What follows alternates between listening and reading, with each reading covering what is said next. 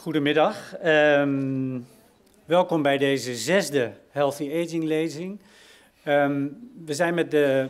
Healthy Aging is, is uh, het overkoepelende thema van het UMCG, gezond ouder worden. We zeggen ook wel meer gezonde jaren, we worden steeds ambitieuzer.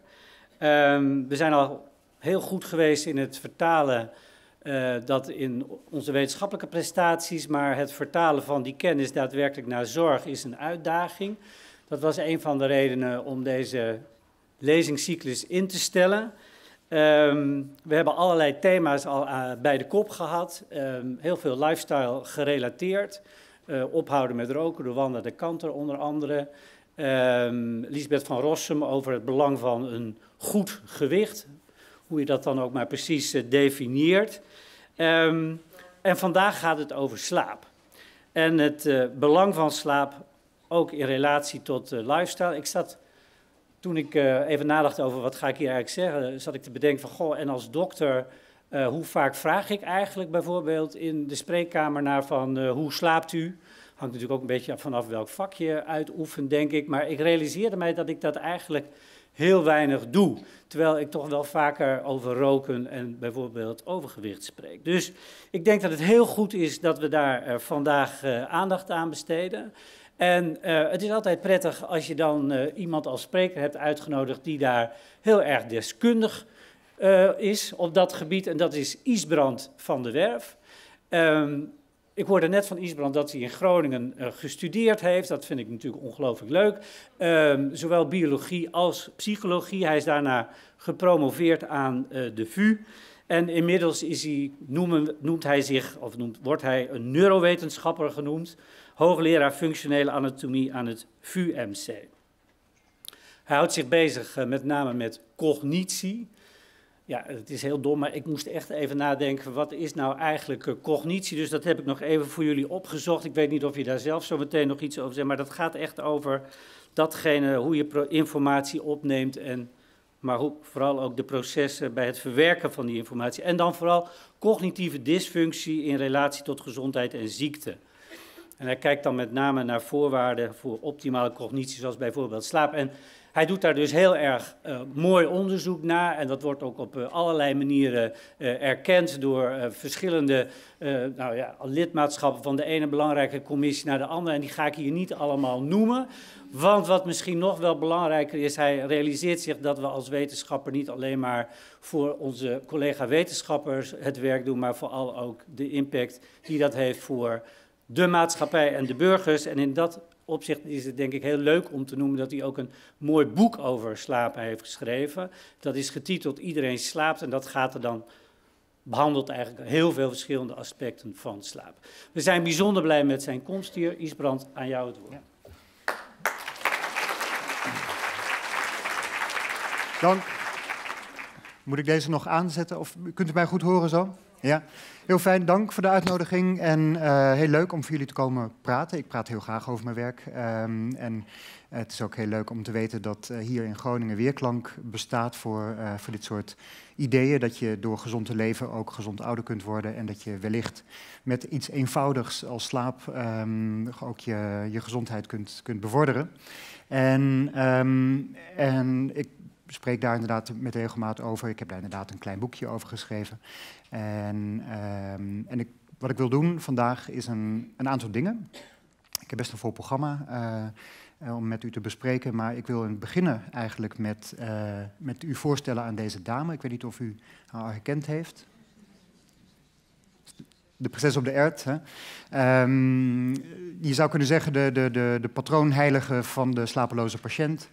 Um, want in zekere zin, ja, je kunt zeggen aan alles is voldaan. Hè? Alle voorwaarden voor een goede slaap zijn hier. Twintig matrassen, um, alle rijkdommen van de wereld, baldakijnen, alle, ontbreekt haar aan niets en toch kan zij de slaap niet vinden. En dat komt omdat onderaan die onderste matras die ene ert ligt. En dat is eigenlijk hoe wij denken over mensen met slapeloosheid. Dat zijn mensen die uh, te uh, alert zijn, die de gedachtenstroom niet stop kunnen zetten, die te gevoelig zijn voor ieder ritseltje, ieder ruisje, ieder geluidje dat voorbij komt in bed. Terwijl eigenlijk als je in bed ligt moet je natuurlijk gewoon jezelf afsluiten voor de buitenwereld.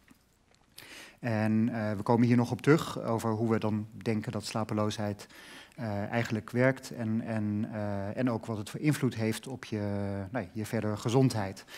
Um, nou, ik heb er wat leuke logo's omheen geplakt, dat moet u mij maar vergeven. Uh, ik werk dus inderdaad op de afdeling anatomie van het VUMC. Tegenwoordig zijn wij Amsterdam UMC geworden, locatie VUMC. Um, ehm, ik ben voorzitter van de Nederlandse Vereniging voor Slaapwaakonderzoek. Uh, en uit hoofde daarvan doen wij ook heel veel aan um, publieksparticipatie en uh, wat je tegenwoordig outreach noemt. En uh, alles is ingebed binnen ons, onze neurowetenschappelijke campus in Amsterdam, waar we het onderzoek doen. Um, goed, de dingen die ik wil doornemen met, uh, met u allemaal, dat is eigenlijk twee, twee delen. Het belangrijkste aan het begin is dat we het gaan hebben over wat is slaap, hoe ziet het eruit, hoe werkt het eigenlijk, wat kun je eraan onderzoeken, wat kun je ervan leren. Um, wat zijn een aantal functies van slaap die ik eventjes kan benoemen en laten zien. Dit is, dat is het gedeelte waarvan ik denk, he, ik ga vertellen over slaaponderzoek en wat, wat is er nou zo leuk aan? Uh, wat is mijn drijfveer, wat is mijn passie eigenlijk in het doen van slaaponderzoek?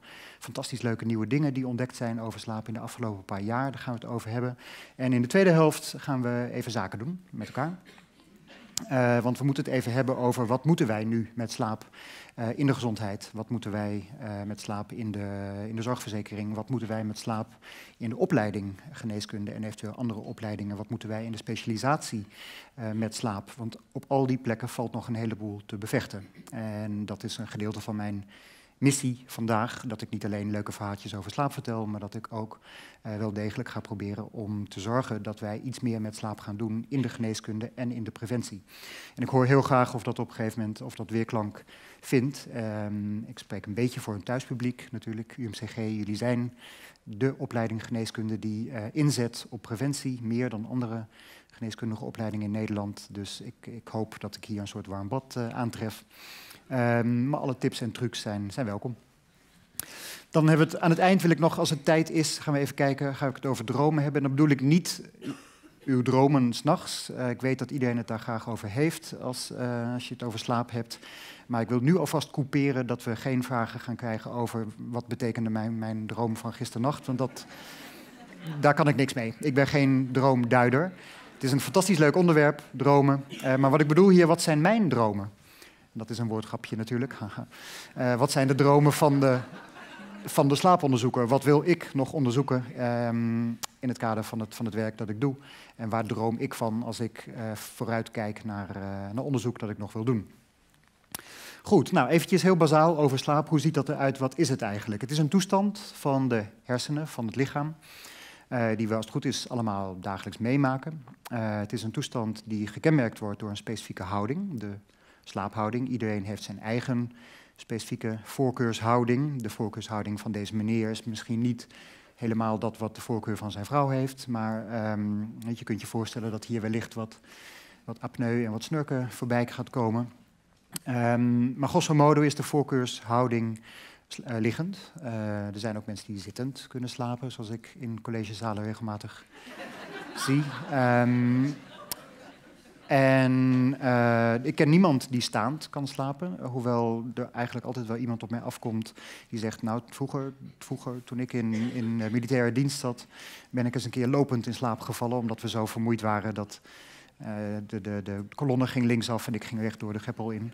Uh, omdat ik eigenlijk aan het slapen was. Maar goed, grosso modo slapen we liggend.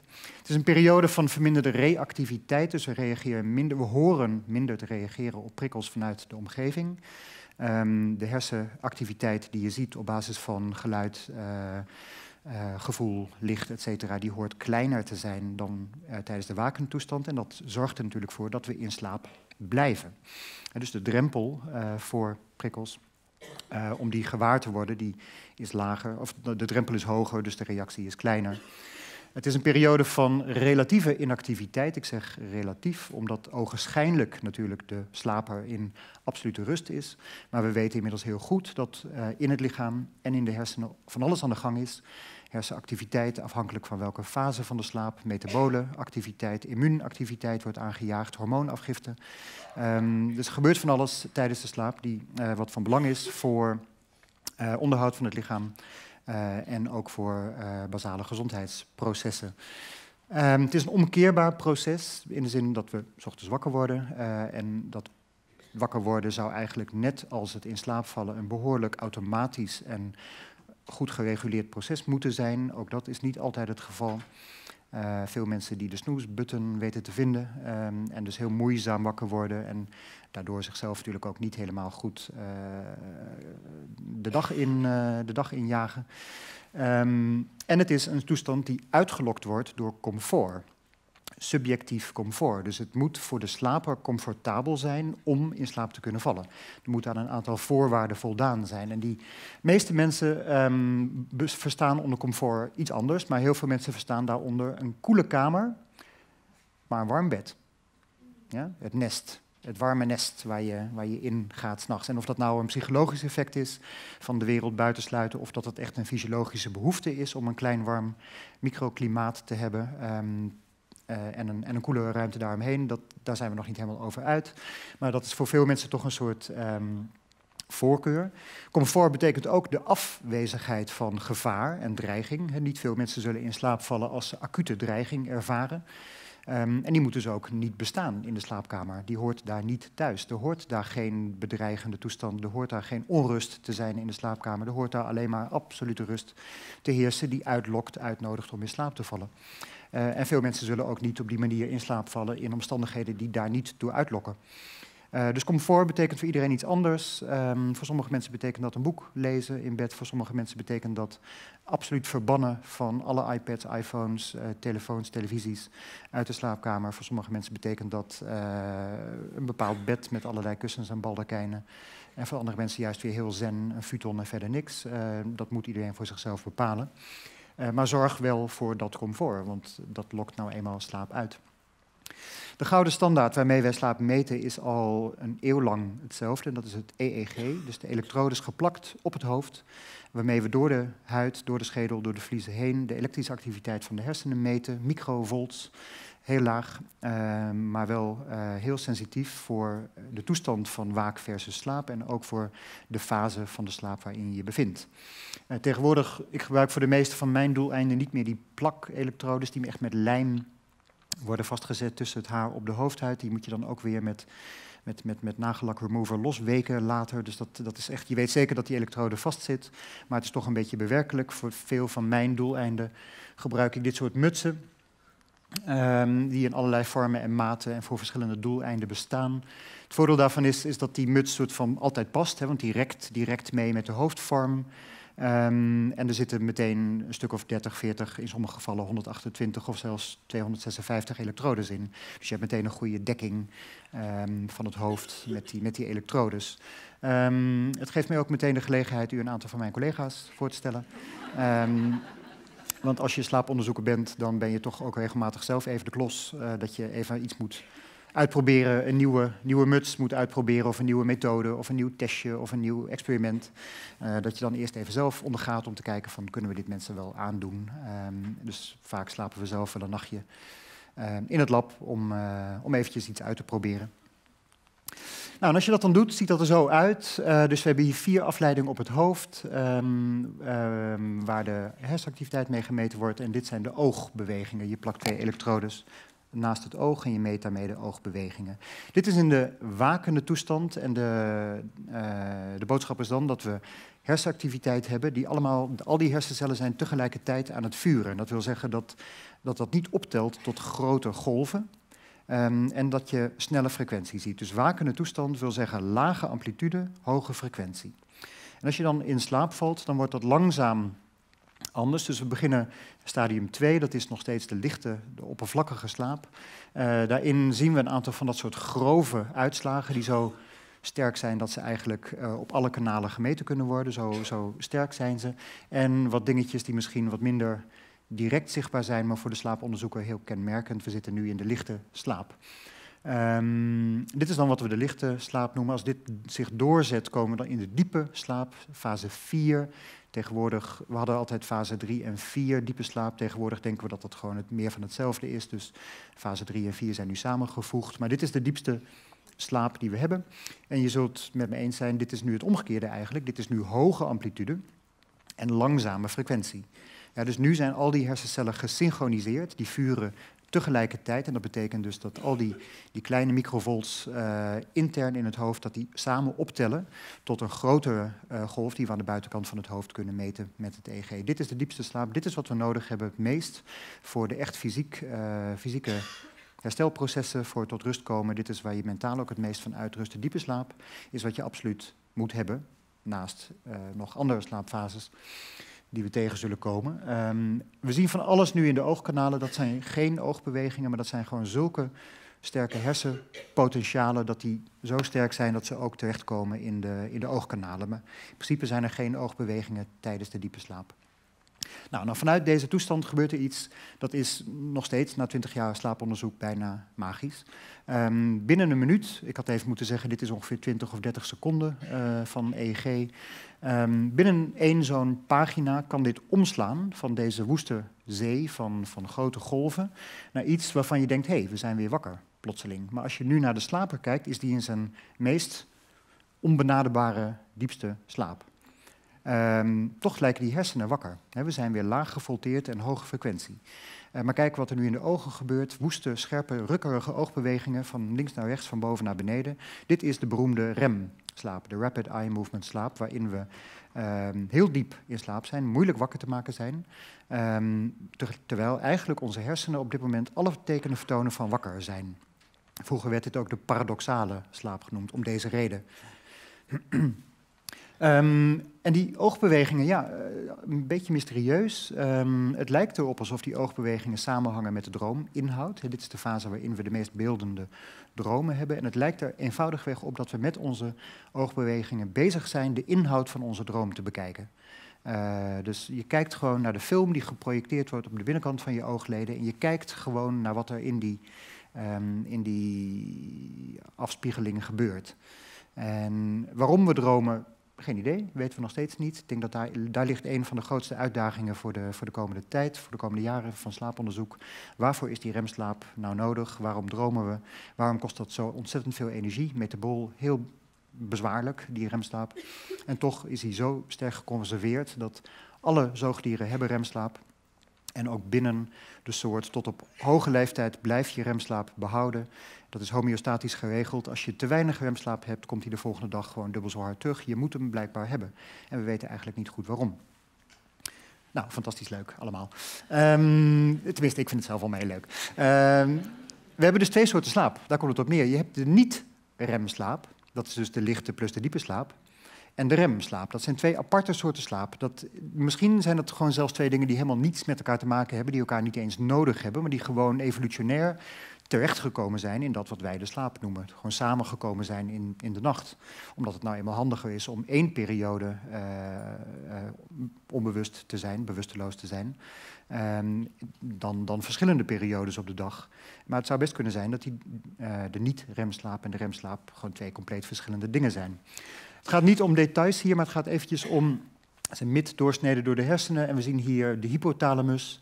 Uh, die, uh, waar de belangrijkste schakelcentra liggen voor het aanzetten van de niet-remslaap. En samen met de hersenstam leidt dat uiteindelijk tot een effect op de hele hersenen. Het gaat er vooral even om dat je dit vergelijkt met het volgende plaatje. En dat is de machinerie voor de remslaap. En die ziet er heel anders uit. Dat zullen jullie met me eens zijn. Dat zit veel meer hier in de hersenstam. Dus daar zijn compleet andere neurotransmitters bij betrokken. Er zijn compleet andere uh, gebieden en celkernen uh, bij betrokken. Sorry, uh, kerngroepen. celgroepen zijn erbij betrokken. Nuclei in de, in de hersenstam die betrokken zijn bij het aanzetten van, van de remslaap. En belangrijk bij de remslaap is ook met name deze projectie naar beneden die de somatische motoractiviteit onderdrukt. Je hoort niet te bewegen tijdens je remslaap. Je hoort tijdens je remslaap verlamd te zijn. Um, met goede reden, want stel dat je droomt dat je achtervolgd wordt, dan zou je toch gaan, gaan trappelen en dan trappel je jezelf uh, wakker of uit bed. Um, of stel dat je droomt dat je tennist of uh, baseball speelt, dan zou je toch jezelf of de bedpartner een behoorlijke klap kunnen verkopen. En daar wordt om gelachen en dat is ook heel grappig, maar het bestaat. Er is dus één ziekte inderdaad waarbij mensen precies dit doen. Namelijk bewegen tijdens hun droom en ook bewegen op geleide van de droom. En dat levert dan dat soort tafereelen op inderdaad. Mensen die uit bed springen omdat ze denken dat ze achtervolgd worden. Mensen die zichzelf bezeren. Mensen die hun bedpartner een, uh, een schop geven of een klap geven. En uh, het kan dus een hele verstorende ziekte zijn. Ik ga er zo meteen nog iets meer over vertellen. Twee soorten slaap. Uh, nou, die wisselen elkaar af. Dit, dit gaat een beetje vanuit, dit is allemaal nog hele basale kennis die we allemaal wel, nog wel hebben ergens. Een gemiddelde nacht van 7 of 8 uur komen die slaapfases een aantal keer terug en in een afwisseling. En de volgorde is eigenlijk altijd lichte slaap, diepe slaap, remslaap. En dan opnieuw lichte slaap, diepe slaap, remslaap. Eén zo'n cyclus duurt anderhalf uur, 90 minuten. En je slaapt dus eigenlijk in veel vouden van dat soort cycli. En vijf cycli is dus vijf keer anderhalf uur, 7,5 is onze gemiddelde nacht merk ook op dat de inhoud van die slaapfases verandert in de loop van de nacht. Dus aan het begin van de nacht zit die diepe slaap met name. En aan het einde van de nacht zit meer van die remslaap. Maar die afwisseling blijft er altijd in zitten. Dus tussen de niet-remslaap en de remslaap.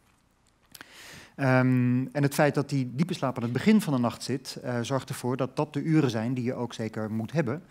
Um, omdat dat die belangrijke slaap is, waar groeihormoon wordt afgegeven, waar uh, herstel en, en groeiprocessen plaatsvinden, uh, waar mentaal herstel optreedt, hersenen worden schoongemaakt. En die moet je zeker hebben. En dat is ook de reden dat mensen zeggen de uren voor middernacht tellen dubbel. Dat doen ze niet. Maar het zijn gewoon die eerste paar uur van de slaap die zo belangrijk zijn. Die moet je zonder meer hebben. En liefst ook altijd op hetzelfde moment van de dag. Hè. Vaste bedtijden, vaste tijd na bed, vaste tijd uit bed. Zodat je slaap zelf kan reguleren dat aan het begin die diepe slaap zit en in de tweede helft die rem slaapt. En je hebt ze allebei nodig.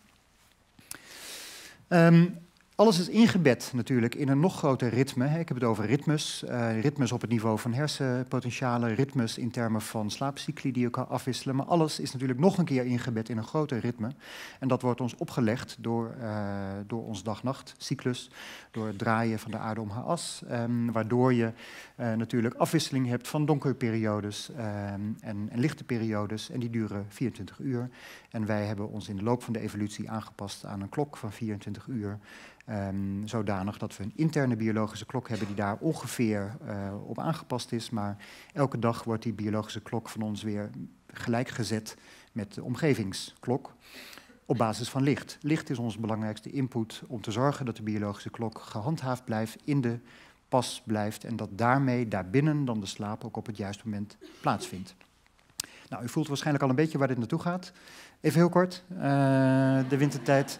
Um, ik, ik, uh, ik, ben een beetje trots, want we hebben namelijk net met de, de, Nederlandse Slaapvereniging een nieuwe website. Dat is heel mooi, bezoek hem eventjes, nswo.nl. Uh, word meteen even lid. Er staat een leuke button, word lid, kunt u op klikken. Komt alles goed. En... Um, Um, een van de punten die we daar natuurlijk op dit moment op hebben staan, is de discussie die hoog oploopt over de zomertijd en de wintertijd. We hebben natuurlijk vorige week de klok weer verzet. Uh, nou, daar komt steeds meer um, tegen, tegen twee keer per, jaar verzetten van de klok. Moet dat nog wel? Heeft dat wel zin? Um, en als je dus besluit dat je dat niet meer wilt, dan moet je besluiten, goed, welke tijd gaan we hanteren? De zomertijd of de wintertijd? Nou, uh, we hebben het punt gemaakt en Arjan Lubach heeft dat nog veel mooier gedaan. Uh, dat de enige juiste tijd is wat wij de wintertijd noemen. Maar noem het alsjeblieft niet de wintertijd, want mensen hebben allerlei associaties natuurlijk. Hè. Zomertijd, oh heerlijk, zomer, ja natuurlijk. Ja, buiten zitten, ja, nooit meer, nooit meer koud. Nee, dat, dat is het natuurlijk niet. Die zomertijd loopt ook door in de winter. Dat is gewoon een... Dus wij hebben het niet over zomer-wintertijd, we hebben het over de standaardtijd.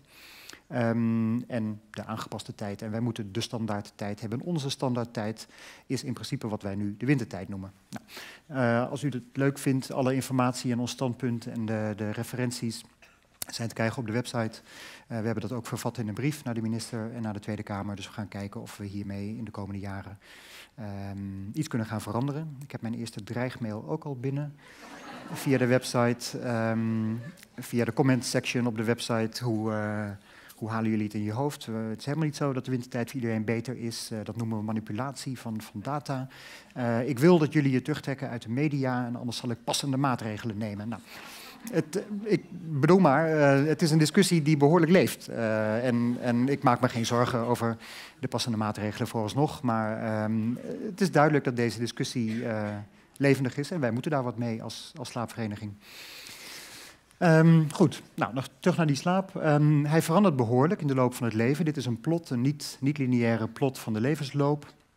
Um, waarin de hoeveelheid slaap is weergegeven met de, de, optelsom van de groene en de rode vlakken. We slapen al voordat we geboren worden. We slapen in de baarmoeder. En we slapen 24 uur lang. In, we slapen non-stop in de baarmoeder. En de slaap die we daar hebben is de voorloper van wat wij de remslaap noemen. Dus baby's in de baarmoeder slapen in de remslaap, 24 uur per dag. En op het moment dat je geboren wordt, um, is dat nog steeds ongeveer ja, 16 tot 18 uur. Voornamelijk die remslaap, die wordt geleidelijk aan minder, uh, terwijl de niet-remslaap in belang toeneemt. En zo tegen het einde van de puberteit, een jaar of 16, heb je de slaap bereikt waar je de rest van je leven ongeveer mee moet doen. En merk dan op dat ongeveer 20% bestaat uit, uit de remslaap, maar dat dat gedurende de rest van het leven tot op hoge leeftijd behouden blijft. Dus dit is echt een homeostatisch principe op die remslaap, die moeten we hebben, ook al is het misschien maar een kleinere portie van onze slaap. Uh, de diepe slaap die proberen we zo goed mogelijk in stand te houden, maar met het stijgen van de leeftijd wordt alles een beetje moeilijker en slapen helaas ook. Dus de meeste mensen gaan toch een klein beetje achteruit in hun slaapduur. Um, het is een heel dynamisch gegeven, die slaap. Hij verandert van inhoud, hij verandert van compositie, uh, hij verandert van duur in de loop van de tijd. Uh, maar op iedere leeftijd heb je die slaap nodig. En op iedere leeftijd is het van belang ook dat, dat die slaap verkregen wordt. Um, heel, heel leuk onderzoek, dit is inmiddels een jaar of acht uh, oud. Um, bij miljoenen mensen in de Verenigde Staten in eerste instantie en later is dat gerepliceerd in andere grote prospectieve onderzoeken, bevolkingsonderzoeken, is de relatie tussen slaapduur en, uh, en, en, leeftijd, uh, overlevingskans. De beste slaapduur, interessant genoeg, is niet acht uur, wat iedereen denkt, maar is zes of zes en een half uur. Mensen die zes uur slapen, die leven langer dan mensen die acht uur slapen. Van acht uur slapen ga je dood. Um, zes uur, zes en een half uur is de ideale slaapduur. Voor, in ieder geval voor uh, overleven. Um, en dat geldt zowel voor mannen als voor vrouwen. En het interessante vind ik dus dat de beste slaapduur, in termen van overleving althans, is niet onze gemiddelde slaapduur. Onze gemiddelde slaapduur is 7,5 uur. Onze gewenste slaapduur is meestal 8 uur. Ja, dus je zou toch denken dat de biologie daar wel voor gezorgd zou hebben dat de optimale slaapduur ook de slaapduur is die wij gemiddeld als populatie hebben. Maar dat is niet zo. Dan gaan we natuurlijk niet, we maken niet, de fout te denken van, oh, dan ga ik vanaf nu zes uur slapen, want dan leef ik langer. Nee, correlationeel verband, um, dus we kunnen geen causatie uh, hier uithalen. We kunnen alleen maar zeggen, de mensen die zes uur slapen zijn de mensen die het langste leven. En hoe dat dan komt, het kan best zo zijn dat dat, dat, dat uh, ja, samengaat via, uh, via toevallige linkage bijvoorbeeld. Um, het kan ook een kausaal verband zijn, dat weten we niet. Maar in ieder geval is het verband ijzersterk en gerepliceerd in verschillende onderzoeken. Um, Goed, waarvoor slapen we nou eigenlijk? Nou, we slapen niet voor één ding, we slapen voor een heleboel redenen. Onder andere voor fysiek herstel. Sorry, ik heb een paar slides in het Engels laten staan, omdat ik uh, een aantal dingen heb samengesteld. Um, er is een proces in de hersenen waarbij synapsen vermoedelijk worden uh, verwijderd. Uh, nutteloze synapsen worden verwijderd, verbindingen in de hersenen, zodat je weer een, met een schone lei begint de volgende dag. Um, uh, energie uh, wordt bespaard tijdens de diepe slaap, niet tijdens de remslaap overigens. Uh, je slaapt voor een gedeelte om je cognitieve functies te kunnen handhaven. Je slaapt voor een gedeelte voor je emotionele huishouding. je slaapt voor een gedeelte voor je immuunregulatie. Er is een hele scherpe immuunactivatie tijdens de slaap, die ook heel acuut en heel scherp wordt onderdrukt weer. En het lijkt erop dat die nachtelijke tijdelijke immuunactivatie betrokken is bij een soort instand houden van de reactiviteit van het immuunsysteem. En dat eventuele verstoring van die nachtelijke immuunactiviteit kan leiden op termijn tot uh, processen in termen van auto-immuunachtige stoornissen. Dus ook op het niveau van, uh, van lichamelijke processen um, is het gewoon belangrijk dat je, um, dat je goed slaapt. Um, ook een van de, de leukere dingen van de afgelopen vijf jaar is dat de hersenen schoongespoeld wordt tijdens de nacht. En uh, ik geloof dat ik daar zo meteen nog een plaatje van heb. Ja, dat is deze. Um, uh, dat is werk van Maaike Nedergaard, die daar een aantal publicaties in Nature and Science mee heeft behaald in de afgelopen tijd. Die um, merkte op een gegeven moment op dat de hersenen, um, in tegenstelling tot de rest van het lichaam, hebben geen lymfesysteem. He, ons lichaam wordt gedraineerd feitelijk door het, het lymfesysteem, waardoor afbraakproducten en metabolieten worden afgevoerd en uiteindelijk het lichaam verlaten. Hersenen hebben dat niet en toch produceren die hersenen heel veel afbraak stoffen. De hersenen gebruiken sowieso 20 tot 25 procent van onze uh, van de energie, um, van de glucose en, en, de zuurstof. En daar wordt dus heel wat gemetaboliseerd. Um, en al die, uh, alle of niet toxische producten en opgestapelde eiwitten, die moeten daar wel uit weer. Dus hoe doen die hersenen dat als ze niet een lymfesysteem hebben? Nou, het lijkt erop dat tijdens de slaap de gliacellen, en dat zijn deze uh, cellen, dat zijn grote cellen, die eigenlijk steun bieden aan de hersenen en, en een soort in, uh, milieu-interne uh, handhaven, die zijn aanzienlijk groter dan de neuronen. Die, astro, die gliacellen die krimpen tijdens de diepe slaap. En wat er dan gebeurt is dat al die cellen die zo groot zijn krimpen. Dat betekent dat de interstitiële ruimte tussen de cellen groter wordt. De hersenen worden gewoon vloeibaarder tijdens de nacht, tijdens de slaap. En spoelen dus gewoon makkelijker door. Dus de convectiestroom de convectiestroom die vanuit de druk, de hoge druk uit de arteriën, door de hersenen loopt en gedraineerd wordt in de, in de venen. En die convectiestroom komt natuurlijk dan op zijn weg neuronen, hersencellen, um, gliacellen, afbraakproducten tegen. Die worden dan meegespoeld. Dat gebeurt tijdens de slaap. Dus de hersenen worden schoongemaakt, schoongespoeld, doorgetrokken uh, tijdens de slaap. En ook daarvoor moet je slapen, gewoon voor het... Um, voor het onderhoud van je hersenen zelf. Nou, ik ga een aantal voorbeelden laten zien. Dat is uh, werk wat we zelf hebben gedaan. Uh, en daarna gaan we het hebben over verstoorde slaap. Maar je kunt hele leuke experimenten doen met slaap. Um, en we hebben ons onder andere gericht op het idee dat je slaapt voor je geheugen. Onder andere werk van inmiddels 15 jaar geleden. Uh, een collega van ons uit Amerika. Die mensen een testje liet doen. Dus met vier vingers van je hand een ritme liet tikken. Bijvoorbeeld 4, 1, 3, 2, 4, 4, 1, 3, 2, 4. Nou, je voelt al niet heel complex, maar tegelijkertijd ook iets wat je met, met meer trainen gewoon beter gaat doen. Dat zie je ook, mensen worden daar gewoon beter in naarmate je dat laat trainen.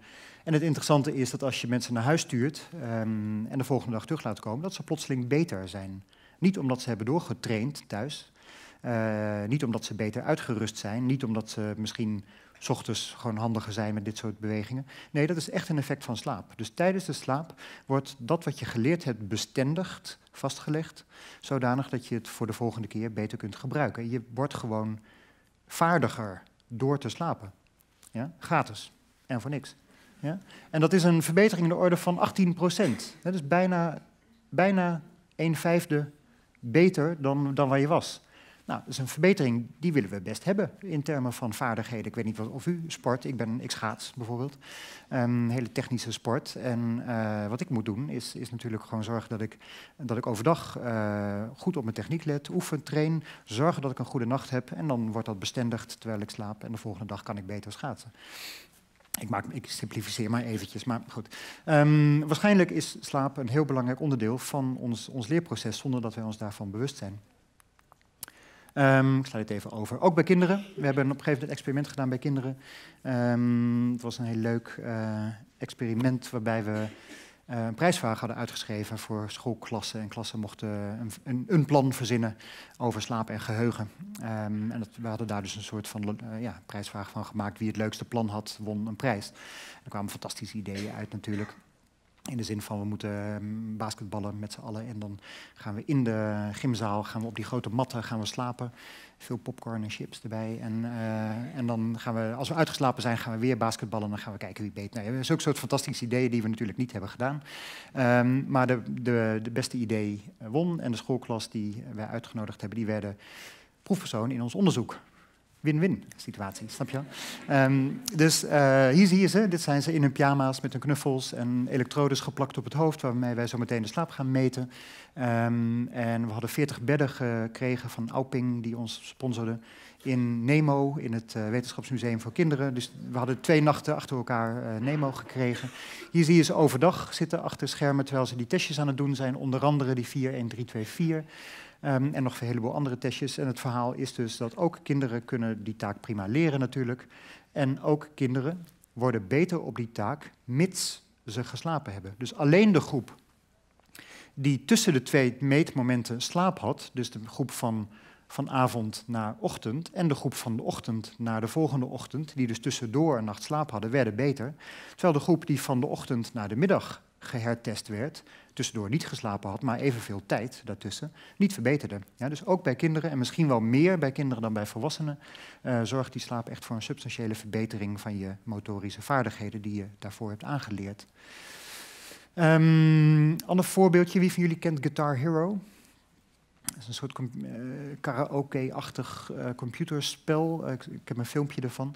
We dachten op een gegeven moment van ja, zo'n ritme tikken, dat is natuurlijk ja, niet een heel interessant soort geheugen. Zo leert een mens niet.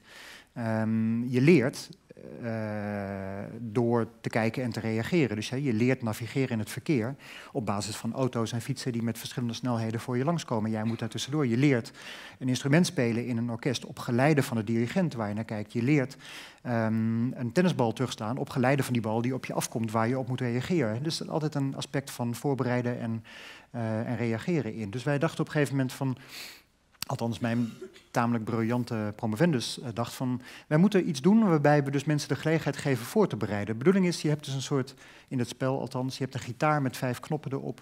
Die moet je indrukken op het moment dat hier die knoppen geraakt worden. Tak, tak, tak, tak, tak, tak, tak, tak, tak, tak, tak. Sommige mensen worden daar fantastisch goed in. Um, maar het mooie is, je ziet het aankomen. Hè? Dus je hebt al ongeveer drie seconden de tijd, of uh, nu moet ik hem drukken. En dus je kunt dat alvast gaan voorbereiden in je hoofd. En uh, dat is waarschijnlijk. Ja. Als je maar lang genoeg slaapt, dan word je, word je zo goed. Ja. Um, en wij dachten, wij, moeten, dat aspect moeten we zien te vangen. Dus mijn uh, Ayo Yoshi, Japanse Ayo, die uh, heel goed was in slapen, zoals we hier zien. Uh, die um, heeft een taak gemaakt die we konden doen in het lab en in de MRI-scanner. U mag even meedoen. Vier vingers van de linker of de rechterhand, maakt niet zoveel uit. Um, die corresponderen met die vier knoppen daarboven. En op het moment dat ze geraakt worden, druk je de juiste vingers in. Ja? Ik vind het zelf een heel leuk soort spel. En, en, mensen die misschien viool spelen of piano spelen, die hebben hier wat meer affiniteit mee misschien. Zullen dat sneller leren. Maar je voelt al wel, als ik dit maar lang genoeg doe, dan word ik daar vanzelf beter in. Ik, ik leer dit heus wel. Nou, um, voor ons was het leuk dat er allerlei hersenactiviteit bij betrokken was die we niet verwacht hadden. Voor een gedeelte wel, voor een gedeelte niet. Hebben we een leuk verhaal over geschreven. kwam in het proefschrift van Yoshi terecht. Maar wat belangrijker was, we hebben deze taak dus ook gebruikt voor een slaapstudie. Waarbij we mensen dus die taak aanleerden en dan uh, in de middag een middagdutje lieten doen. Anderhalf uur, ideaal. De middag is het ideale moment om in slaap te vallen. Hè. We hebben twee momenten op de dag waarbij we makkelijk in slaap vallen. Eén is s'avonds laat en de ander is om een uur of één s middags. Um, als je mensen, gezonde, goede, normale slapers, om één uur in bed legt, gordijnen dicht um, en geluid buiten sluit, driekwart valt in slaap. Gewoon de siesta. Um, niks mis mee met de siesta. De slaaponderzoeker zegt niks mis. Dus uh, als u dutjes wil doen overdag, heeft u, heeft u mijn zegen. Wederom, de mensen die een dutje hadden gedaan, was de groep, kwamen in de groep of bleken de groep te zijn die uiteindelijk het beste uitkwam in die taak vergeleken met de mensen die niet een dutje hadden gedaan. Wat natuurlijk is wat je overdag normaal gesproken doet. Dus ook een kort slaapje leidt al tot een verbetering van vaardigheid op, uh, op een taak zoals dit. Oké, um, nou dan nog even de keerzijde van de medaille. Je slaapt dus voor een gedeelte om dingen te onthouden die je al geleerd hebt. Maar je slaapt ook waarschijnlijk om jezelf gereed te maken voor dingen die nog moeten komen. En dat is onderzoek wat we ook hebben gedaan. We hebben mensen in het lab laten slapen, aangehaakt aan het EEG. Um, het EEG werd gemeten op een laptop die onder het bed stond. En we hadden die zo afgesteld dat die begon te piepen als mensen, dat, als mensen in, van hun lichte slaap in hun diepe slaap terechtkwamen. Uh, en ook weer stopte met piepen op het moment dat ze dan uit die diepe slaap weer omhoog in hun lichte slaap kwamen. Het mooie daarvan is dat mensen niet wakker werden. Dus we hebben mensen niet een nacht lang wakker gehouden, maar we hebben gewoon gezorgd dat ze niet in hun diepe, rustgevende slaap kwamen, terwijl ze gewoon zeven uur doorsliepen. Um, piep. Ja. En um, daarna die mensen aan een heleboel testjes onderworpen. En onder andere geheugen. We hebben bijvoorbeeld in de scanner mensen blootgesteld aan plaatjes van, van landschappen die ze moesten onthouden. En soms heb je dan zo'n controle erbij. Dan moesten ze niet, niet drukken of het een tropisch of niet tropisch landschap was, dat maakt mij niet zoveel uit wat u daarvan vindt. Ik wil gewoon dat mensen, ik wil gewoon controleren dat mensen wakker zijn, dus ik wil dat ze drukken tijdens die taak. Um, en dan af en toe zo'n controlevraag er tussendoor. Een heleboel plaatjes en daarmee meten we de capaciteit van mensen om nieuwe plaatjes op te slaan. Het waren mijn vakantiefoto's overigens, dus uh, ik wist tamelijk zeker dat mensen uh, die plaatjes nooit eerder gezien hadden, tenzij ze op dezelfde plek geweest waren als ik. Ehm, en wat je dan krijgt is hersenactiviteit die betrokken is bij het opslaan van nieuwe, uh, nieuwe, nieuwe geheugensporen, in dit geval plaatjes. En wat we natuurlijk deden was kijken of mensen die, die uh, oppervlakkige nacht, oppervlakkige slaap gehad hadden, dat net zo goed konden als de mensen die een gewone nacht hadden geslapen. Nou, het bleek ten eerste dat ze dat niet konden. Dus je kunt minder goed nieuwe dingen opslaan als je niet je diepe slaap hebt gehad. Um, en uh, bepaalde hersenstructuren die wij kennen, de hippocampus, um, betrokken bij geheugen, uh, is niet even actief, is, werkt niet even goed uh, als je daarvoor een verrotte nacht hebt gehad. Dus je slaapt voor een gedeelte niet alleen om dingen uit het verleden op te slaan, maar ook om dingen die nog moeten gaan komen te kunnen leren überhaupt. Dus die schone lei waar ik het eerst over had, je zorgt door, met slaap ervoor dat je weer begint aan een dag zodanig dat je maximale capaciteit hebt om nieuwe informatie op te slaan. Dus slaap werkt twee kanten op. Slaap werkt achteruit en slaap werkt vooruit. En zo'nzelfde verhaal zou je ook op kunnen hangen voor emoties. Werkt net zo. Je, tijdens je slaap verwerk je emoties van de voorgaande dag. Je maakt ze minder emotioneel feitelijk. Um, als je slecht slaapt, dan gebeurt dat niet. Dus dan blijf je net zo geagiteerd over dingen die de voorgaande dagen hebben, uh, zich hebben afgespeeld. Plus, je bent prikkelbaarder de komende dag voor emoties die nog moeten komen. Ja, dus ook op het gebied van emoties werkt slaap achteruit en vooruit. En je verwerkt aan de ene kant en je rust jezelf toe met uh, grotere capaciteit voor de komende dag. Goed, dus slaap bevordert het vastleggen van herinneringen en maakt toekomstige herinneringen mogelijk. Uh, hetzelfde verhaal voor, voor emotieverwerking. Um, maar ik wil dus nu, um, en jullie voelen het al een beetje, hè, als ik het heb over emotiehuishouding, we gaan het even hebben over wat er kan gebeuren als slaap niet werkt. En er zijn ongeveer 60 verschillende slaapstoornissen. Uh, die beschreven worden in de ICSD, de International Classification of Sleep Disorders. En dat zijn er heel verschillende, hele algemene slaapstoornissen in de zin van, van uh, insomnie, slapeloosheid, uh, de rusteloze benen, die mensen misschien wel kennen, het gevoel hè, dat er iets jeukt onder je huid, waardoor je je benen moet bewegen. Dat gebeurt heel vaak op het moment van in slaap vallen, dus daar wordt je, daar wordt je slaap door verstoord. soms zijn die rusteloze bewegingen die zijn periodiek, dus PLMS. Dat zijn rusteloze benen die soort van met een specifieke frequentie voorbij komen. De, um, het stoppen met ademhalen tijdens de nacht, de apneu. Uh, heel bekend natuurlijk. De narcolepsie, uh, de slaapaanvallen overdag. Maar dat zijn mensen die s'nachts juist slecht slapen. Dus narcolepsie staat in het rijtje van te weinig slaap. Maar narcolepsie staat ook in het rijtje van stoornissen met te veel slaap. Um, we hebben ook stoornissen die zich kenmerken door te veel slaap overdag, de toegenomen slaperigheid overdag, de excessive daytime sleepiness, de narcolepsie, maar ook de echte hypersomnie. Um, het, uh, de, het schone slaapstersyndroom is heel mediageniek. Het is een hele storende aandoening natuurlijk, maar vaak uh, jonge meisjes die 18 uur per dag slapen. Um, toegenomen eetlust hebben ook. Dat kan zomaar een jaar duren en dan verdwijnt dat weer. Dan functioneren ze normaal. En misschien komt er later weer een episode dat ze 18, misschien wel 20 uur per dag slapen. Echte hypersomnie, um, waarvan we nog vrij weinig begrijpen. Nou, ik wil het even. Um, de grote drie. De grote drie zijn slapeloosheid, rusteloze benen en apneu. Ik denk dat we daarmee ongeveer de helft van de bevolking te pakken hebben. komt heel veel voor en uh, beïnvloedt natuurlijk je welzijn op een heleboel manieren. Met name de slapeloosheid wil ik even wat, wat nader uh, uh, benadrukken. Um, staat in de, in de psychiatrische manual, staat in de International Classification of Diseases, staat in de uh, International Classification of Sleep Disorders, insomnie. Dit zijn gewoon plaatjes die je krijgt als je slapeloosheid googelt. Um, misschien herkent u een aantal sentimenten wel. Dus bijvoorbeeld het, de blik van wanhoop op het gezicht van deze meneer. Die de klok al drie uur ziet worden en toch de slaap niet vat. Belangrijk hè? Moeheid is niet hetzelfde als slaperigheid. Mensen die slapeloosheid hebben, die weten dat. Die weten, ik ben zo moe, ik zou zo graag willen slapen, maar ik ben niet slaperig. De kunst is natuurlijk om die twee te laten samenvallen. Als je moe bent, ga je slapen. Dat zou eigenlijk zijn wat je wilt. Maar um, opvallend is dat moeheid en slaperigheid niet altijd parallel lopen. En mensen met slapeloosheid weten daar alles van. Um, misschien het gevoel dat je zelf wel zo graag zou willen slapen, maar dat er iets bijna boosaardigs is dat jou uit je slaap houdt, iets externs bijna.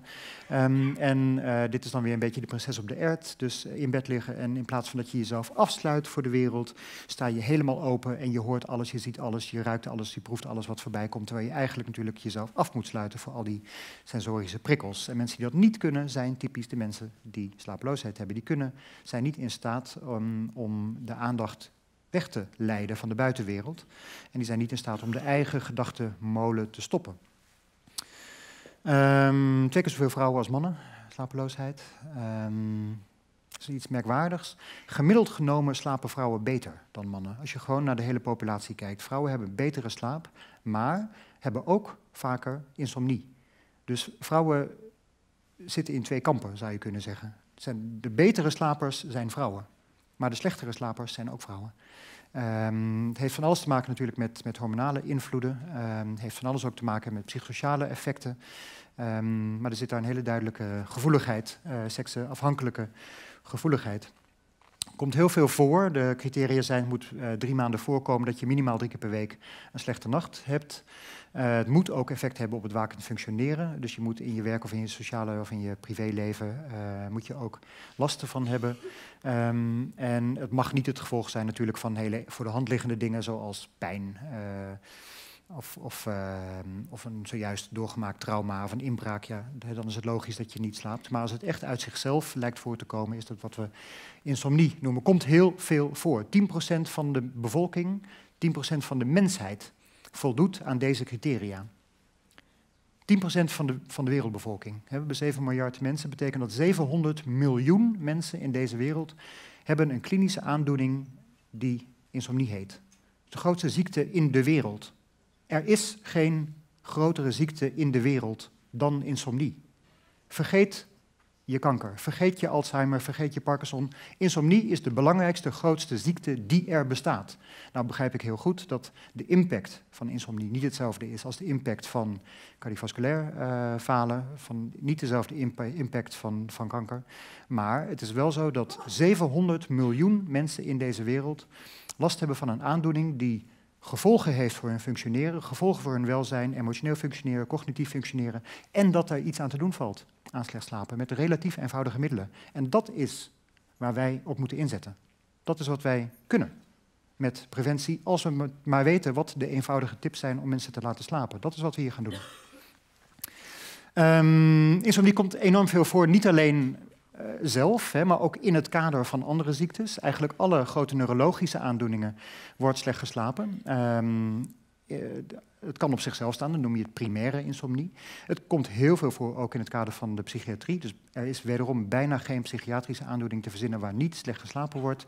Met name de depressie natuurlijk. Nou, in de, in de posttraumatische stressstoornis is het bijna een diagnostisch onder, onderdeel. Hè, dus je moet slecht slapen om de diagnose PTSD te kunnen krijgen. Uh, bipolaire stoornis, de, de manische depressiviteit, um, wordt heel slecht geslapen, lokt ook vaak um, uh, een episode uit. Um, dus het is een, een heel algemeen probleem, wat soms dus verknoopt lijkt eigenlijk met andere stoornissen. en de behandeling sinds vorig jaar Um, de richtlijn voor behandeling van insomnie is niet langer pillen.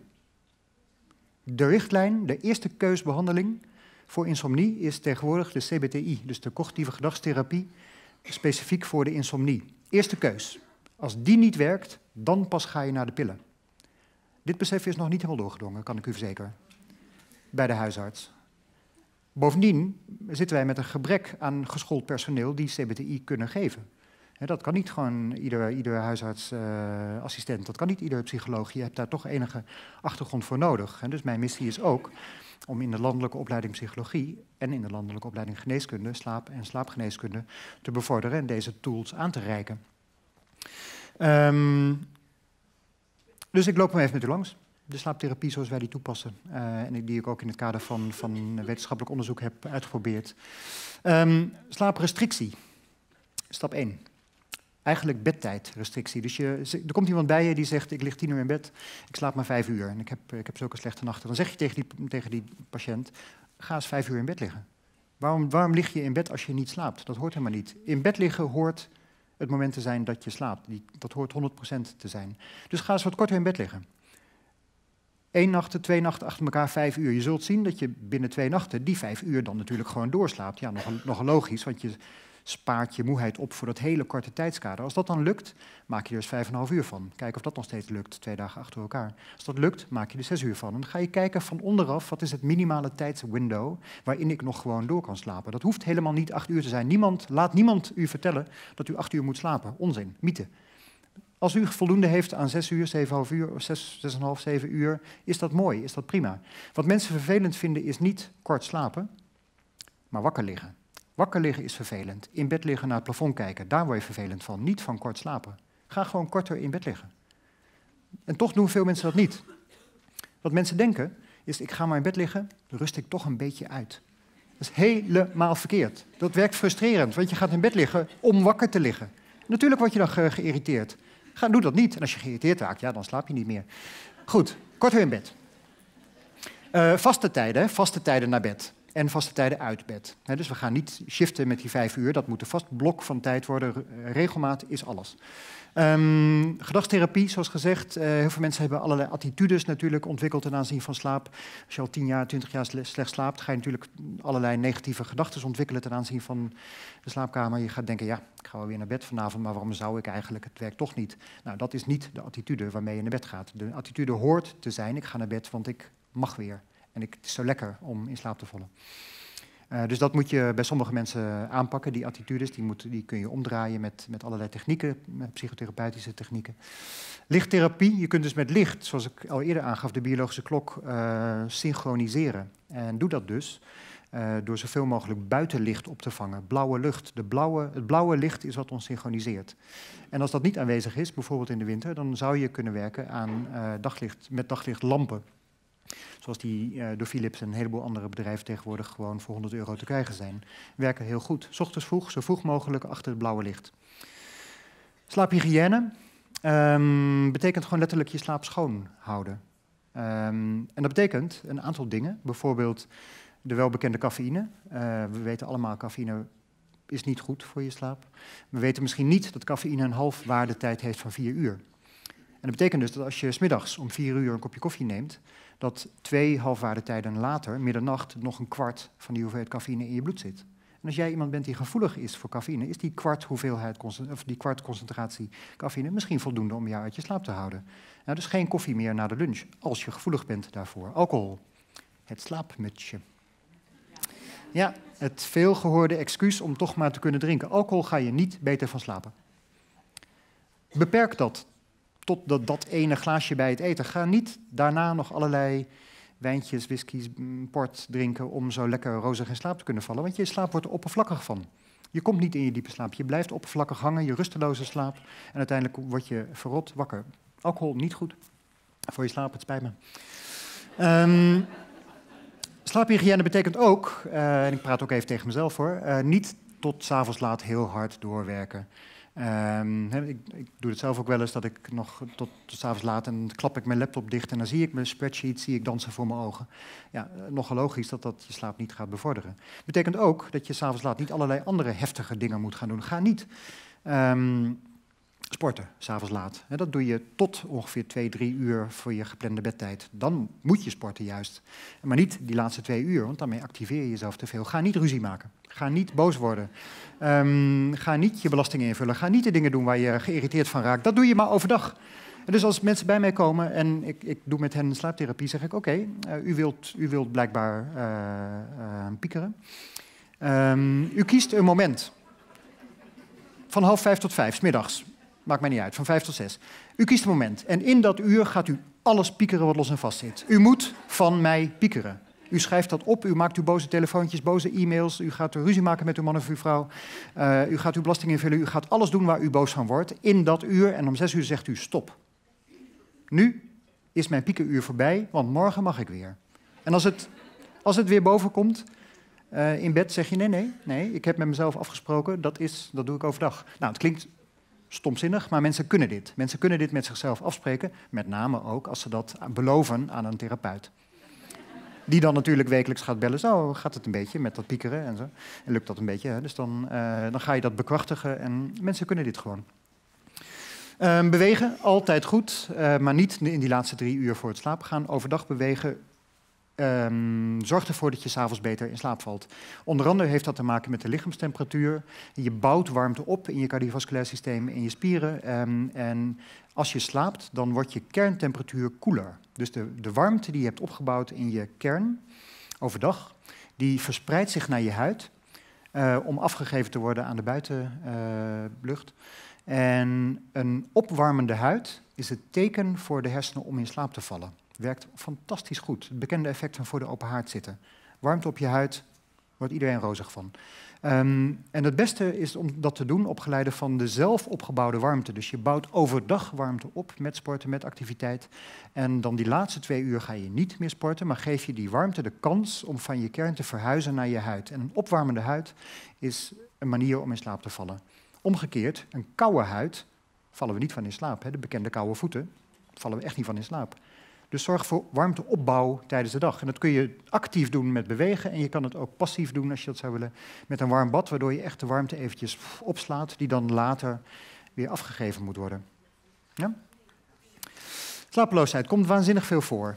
Is heel schadelijk. Op een, hele, op een sluipende manier. Niet op een acute manier. Hè. Niet op de manier van een hartaanval. Maar op de manier dat je dingen net wat minder goed kunt. Dat je net wat minder energie hebt. Dat je net wat minder scherp bent. Um, het is storend. Het is niet goed voor je emotionele welzijn. Het is onderdeel van een heleboel andere ziektes. En mijn gedachte is natuurlijk van ja, luister. Je hebt iemand die heeft de ziekte van Alzheimer. Die is al niet uh, cognitief fit. Als die ook nog eens slecht slaapt, wordt die echt niet beter. Dus kunnen we het niet omdraaien? Kunnen we niet zeggen, ook mensen met bijvoorbeeld de ziekte van Alzheimer, met de ziekte van Parkinson, met depressie, met angst, die moet je goed laten slapen, want dan worden ze op zijn minst worden ze geoptimaliseerd binnen de grenzen van hun ziekte. Kijk, we gaan heus niet mensen met Alzheimer genezen, met, met, met licht. Maar we kunnen misschien wel mensen optimaal laten functioneren, optimaal laten slapen en het restant mentale capaciteit dat ze hebben nog, nog inzetten komen zo meteen nog over te, over te spreken. Er is namelijk gewoon een hele directe lineaire relatie tussen slaapkwaliteit en kwaliteit van leven. Dit, dit, zijn geen patiënten, dit zijn gewoon mensen zoals u en ik, die gevraagd is van vul nou gewoon eventjes in op een PDA of op een, uh, op een telefoon van hoe heb je vannacht geslapen en hoe voel je je vandaag. Keiharde lineaire relatie, hoe beter je slaapt, hoe beter je, je kwaliteit van leven is. Um, ja, sla ik even over. Um, maar ook echt in de ziekteleer um, speelt slecht slapen een rol. Dit is een weergave van de, uh, van, van de hele psychiatrie. Dit zijn alle psychiatrische stoornissen uitgezet als symptomen. De meest voorkomende klacht, de meest voorkomende, meest centrale klacht in de hele psychiatrie is slapeloosheid. Komt het allermeeste voor in, in de hele psychiatrische wereld. Slecht slapen en moe overdag. Absoluut meest gehoorde klacht. Um, en dat betekent dat dat zo'n centrale klacht is in de psychiatrie, dat het ook misschien bijdraagt aan psychiatrische beelden. Misschien is het, is het een brugsymptoom. Je begint met angst omdat je iets hebt meegemaakt, je gaat slecht slapen. Door dit slechte slapen ontwikkel je een depressie. Ja, dus het kan een instandhoudende factor zijn binnen de psychiatrie, die zo makkelijk te, te behandelen is. Dus misschien moeten we slaap toevoegen als target, als therapeutisch target in de psychiatrie uh, om te zorgen dat pathologie zich niet verspreidt, uh, niet erger wordt of misschien zelfs ingedampt kan worden. Ja? Uh, ik ga even een paar voorbeelden laten zien. ja. Sorry, maar je hebt, we naderen een beetje het einde. Ja, ik zie het. ik, als ik de anekdotes ga vertellen, mensen, dan, dan, dan zijn we nergens.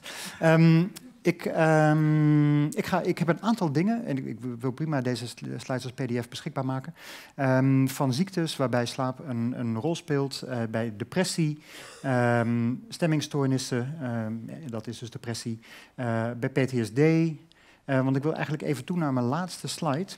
Um, ik, ik, denk dat u het wel gelooft inmiddels. Hè? Van slecht slapen word je niet beter van. Um, en we gaan het omdraaien en dus zorgen dat we beter gaan slapen. Dat, dat, is, dat is min of meer de boodschap. En we zorgen daarmee voor uh, verbetering van de toestand um, in termen van, van uh, neurologische ziektes, uh, psychiatrische ziektes, eventueel zelfs somatische aandoeningen. Dus ik heb in plaats van een, van een hoe heet het ook alweer, een take-home message, heb ik een laatste slide. En dat is voor ons allemaal een to-do-lijst. Um, want wat wij gaan doen met z'n allen, um, is een aantal dingen. Wij gaan meer slaaponderzoek doen. Um, om, te, zeker, om te kijken hoe dit nou zit. Uh, is slapen in sommige gevallen een prodroom voor bepaalde ziektes? Is het een diagnostisch middel? Um, is het een symptoom van een andere ziekte? En kunnen we het als target gebruiken om te interveneren in die ziekte? We moeten dat weten om het te kunnen toepassen. Um, we gaan slaap inzetten in de bevolking als uh, lifestyle, want door goed te slapen wapen je jezelf tegen dingen, tegen ziekten in de toekomst. Je optimale lifestyle is een lifestyle waarin je regelmatig slaapt, goed eet en goed beweegt. Die drie pijlers die zou je gewoon moeten hanteren en slaap is er absoluut één van. We gaan slaap in het curriculum van de geneeskunde uh, brengen. Ik geef op dit moment in VUMC eh, twee uur slaapgeneeskunde en dat is alles wat de bachelorstudenten geneeskunde krijgen. En ik ben niet eens een arts. Schandalig vind ik dat zelf. Dus slaap moet in het basiscurriculum geneeskunde. Linksom of rechtsom. En dat gaan we, gaan we zo meteen met de, met, met, uh, de hoge bestuurlijke laag gaan we dat, uh, gaan we dat ook bespreken hier. Um, ik wil ook dat slaap in de specialistische opleidingen terecht gaat komen, beter dan het nu is. Ik wil dat slaapgeneeskunde uh, in een subspecialisatie gaat worden van neurologie, van longgeneeskunde, van KNO, van de psychiatrie, van de huisartsgeneeskunde. Ik wil dat eigenlijk alle specialisten die zich bezighouden um, met uh, al of niet zijdelings met slaap, die, dat die daartoe geschoold gaan worden. U gaat lid worden van de NSWO, allemaal. Dus uw to-do-lijst, u gaat zich ook even registreren voor het slaapregister.nl, want dat is een landelijk bevolkingsonderzoek waarbij wij kijken naar slaapgewoonten in, uh, in de bevolking en om daaruit patronen te kunnen ontdekken.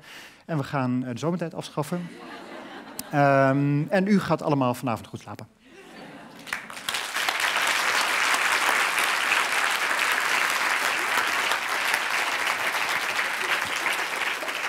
Dankjewel Isbrand. Uh, prachtige voordracht. Uh, voor degenen die vragen willen stellen, die moeten naar voren komen. Uh, die kunnen gewoon Isbrand hier zelf even aanspreken. Bedankt voor de aanwezigheid en tot de volgende Healthy Aging lezing.